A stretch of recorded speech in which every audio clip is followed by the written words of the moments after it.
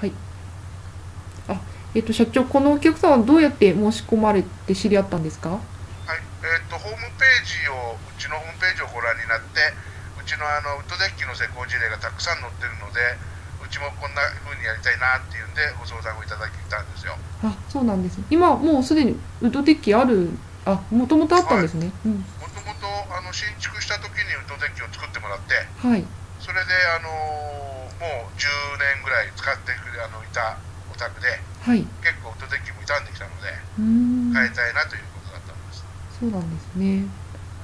もう塗り替えとかではなくもう全部やり替えということなんですね。最初はね、あのこれを変え、なんていうんだろう、リフォーム、修理して使えないかなっていう提案があったんだけど、はい。まあ、面積あもうちょっと広くして、はい。えー目隠しももうちょっと高くしてみたいな、あのうんうん。そんな形で作り方を変えちゃったので、はい。あのこれは壊した方がいいですよっていう提案にえーなっちゃったんですね。あそうなんですね。はい、無駄なスペースがいっぱいあったんですよ。今ちょっと見てもらうと分かるんだけども、はい。このおウッドデッキの既存のウッドデッキの右端にはい。手すりがあるんですけども、はい。この手すりの右側に約そうだな80センチぐらいあの空地があるんですよ。ああありでますね。そこに草が生えちゃってはい。困っちゃってあ結局ーあの敷地いっぱいにデッキを広げちゃえばはい。草も生えないのにうん。ちょっと無駄なことやってたんですね。あそうだったんですね。だからデザインをもうこの敷地いっぱいにちょっと広げてはい。でまあここであの本を読んだり読書したりを要するにしたいっていうんで、うんうんうん。この手すりの高さはもう1500っていうもうすごく高くえー手すりをしちゃって、はいまあ、手すりって普通1200ぐらいが多いんですけど、はい。30センチぐらい高くしちゃったんですよ。ああなるほど。だから今これチェアがあるでしょ、はい。座って本を読んでるんだって。あーあーでも敷地の脇雑草がまあ敷地がほらいっぱいあのバックしてる分がはい。雑草が生えちゃうわけよ。ああそうですよね。この辺は手入れが大変。でも一部防草シートらしきものがありましたね。がねあのホームセンターで買ってきてね見よう見まねでやったんだって。はい。あだけどやっぱりほらあの防草シート自身が、あはい。あのホームセンターで売られてるお安いやつだからね。はい。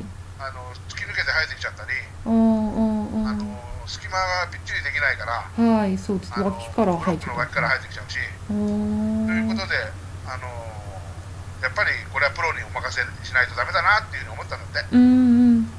じゃあ全そういうとにちょっとご連絡が来たからね。はい。はい、あのうちの方で全部きれいにやりますよっつって、あーあーあーであの、うん。改造させてもらったんです。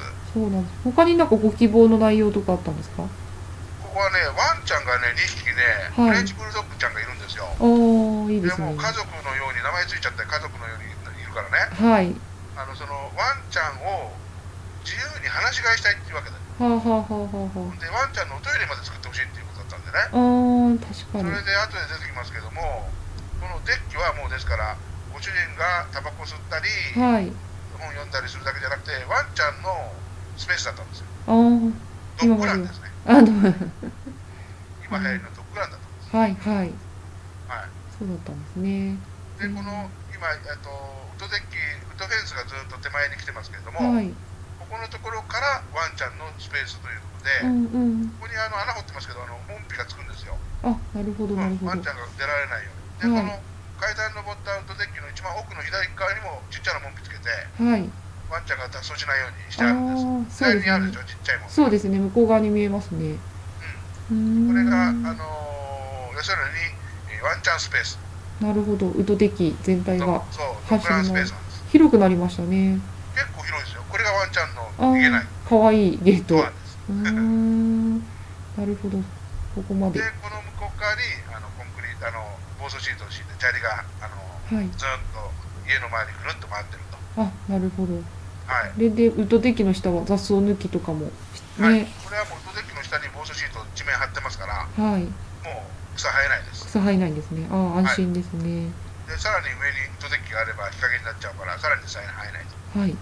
そういう二重構造でうん。草が生えないようにしてますので、はい。フェンスも高くていいですね。なんかこそうプライバシーが。うんうんうん保たれて。で、プライバシーを保ちつつ、かつ、あのー横張りの板の隙間を、通常はい1センチぐらいの隙間なんですけども、うん。ちょい広めに開けました。あそうなんですね。だからあの遠くから見たらもう中あまり見えないんですけどうんも、うんうん。まあこちらから見たら外は少し見えて風通しもいいみたいな、ああ風が通りそう。確かうん、に普通のお宅よりもちょっと隙間は多いです。へえここら辺も手作りなんではい。微妙に間隔を調整できるところがいいところです。ああなるほど。そうですね。ここは？はい。ここはもう車庫の裏側なんですけども、はい。駐車場車を洗うためのあの水の水場があってはい。ここであの洗車するんですね。うん。でまあ今まで土だったのではい。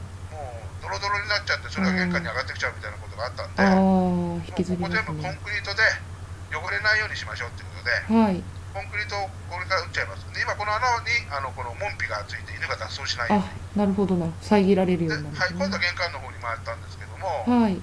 今玄関であの電気屋さんがあの配線工事をしてるんですけども、はい。あのインターホンのここであの、うんうんうん。つなげるようになるほど。今まで外壁の方にあったんですねあの玄関のインターホンとかですよね。ううんうん。今度はもうポストインターホンをこの庭のすぐあの岩坂の道道路路側に。の方につけちゃおうということで。なるほど木のように見えますけれどもこれ木じゃないです。ああはい。腐らないタイプ。はい。樹木のあのうん。もので作ってます、ね木の雰囲気と合ってていいですね。素敵です。はい、でまあ現場はここでコンクリートレンガをお養生して、はい。えーコンクリート打ってるんですけども、うんうんうん。まあ、レンガってこのコンクリートが染み込んじゃうとまず取れないんですね。はい。だからタイルの場合はあの養生しないでこう打ってからスポンジで拭いて大丈夫なんですけど、はいレンガはもう絶対濡らしちゃまずいんで、はい。あの養生しっかりしてるという、しっかりして。はい、この緑のテープが養生テープですけどね、紫と緑で二重にしてると。うんうんうん。でコンクリートが打ち終わって、でまあ、丸いところはあのこれあの、排水の排水マスですかね。マスです。うんうんうん。はい、こうんれもだからぴったりもうおマスを生かして、はい。えー高さ高さもですから切り切切り詰めしてちょっとうんうんうん。あのコンクリート出っ張ってたのを下げました。はい。ぴったりの高さにできます。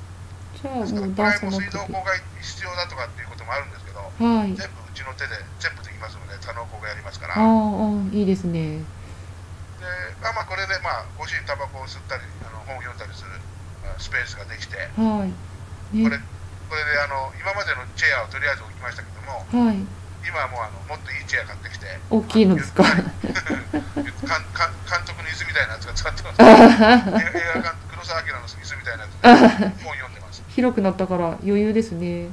はい。でここの脇はもう今まで雑草が生えてこまってたとこはもう防草シートと砂利を引いて。はいああさあ生えないように。でこれはあのフレンチブルドッグのワンちゃん2匹かわいい、はい。このワンちゃんも大喜びで。ねえ快適そうですね。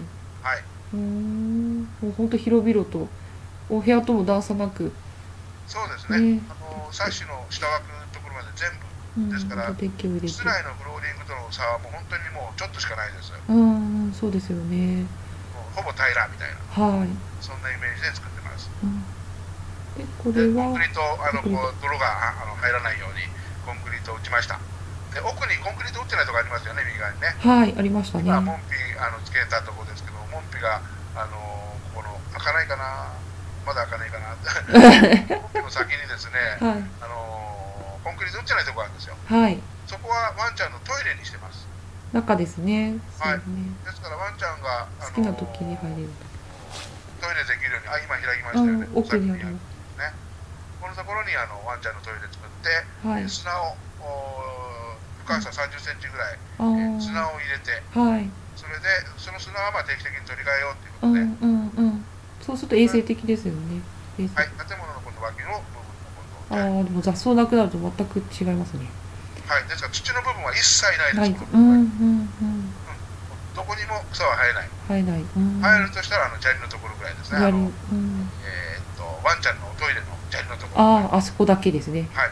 うん。これであるでまあ、お手今流行りのあのおビーチクルーザーという海の上を走れる自転車あ海の上じゃない砂浜を走れる。置いて皆さんあのサーファーの一家なのでうんうんいいですね。一人一台自転車があります。ああ自転車多くてもこ,、ね、これだけスペースあれば本当快適です。はい。でまあ後ろにあのドラセナといううん。ちょっとトロピカルなはい。ヤシのような木を植えて